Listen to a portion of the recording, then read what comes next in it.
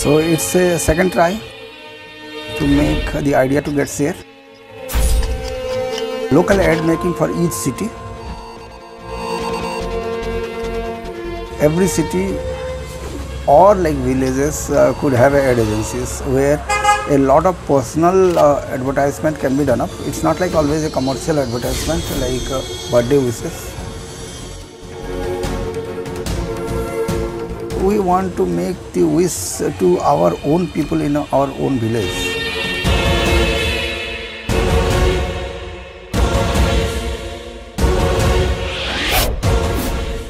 So for that, uh, we can able to help in digital media and a lot of technicians can be engaged in that. Every village news channel, yes.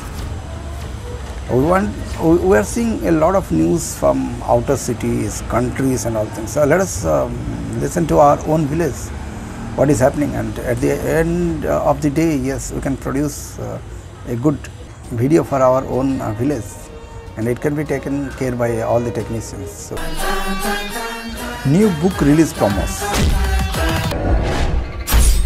Writers are there, but their books are not reaching to the public properly because lack of advertisement. Yes, they have spent a lot of money and the timing on their uh, making of the books, but who is going to publicize this? Yes, publishers are publishing in this like say they are printing. So what about their advertisement? And it can be done up. Selling of second-hand books is a very big business. Which books is where and what are the books available in a second-hand books? It is to be get promoted. In India, it could be a very big business. A lot of people are there who want to buy the second-hand books. Before going to the original books, we want to spend some money on the second-hand books. Yes, millions of books are there in the road I've seen personally in Hyderabad.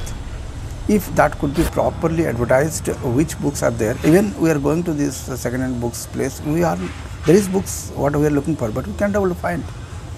There is no systematic way to get find out in our leisure time. Yes, if, if a single snaps could have been taken also or advertisement has been done also, people can able to see that in their own comfortable way at their own place and later on they can come to there. So that could be an initiative.